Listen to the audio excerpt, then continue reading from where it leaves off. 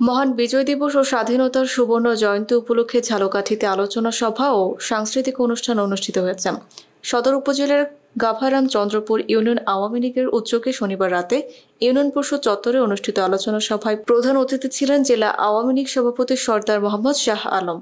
Union Awami League সভাপতি মঞ্জুরুল আলম ঠাকুয়ার সভাপতিত্বে বিশেষ অতিথি ছিলেন জেলা আওয়ামী লীগ সাধারণ সম্পাদক অ্যাডভোকেট খান সাইফুল্লাহ পনির, জেলা আওয়ামী লীগ সহসভাপতি ও উপজেলা পরিষদ চেয়ারম্যান খান আরিফুর রহমান, উপজেলা আওয়ামী লীগ সহসভাপতি আব্দুর রশিদ হাওলাদার, উপজেলা আওয়ামী লীগ সাধারণ সম্পাদক হাফিজ আল মাহমুদ, পরে মহান বিজয় দিবস ও স্বাধীনতা সুবর্ণ জয়ন্তী উপলক্ষে মরক্কো সাংস্কৃতিক অনুষ্ঠান অনুষ্ঠিত হয়।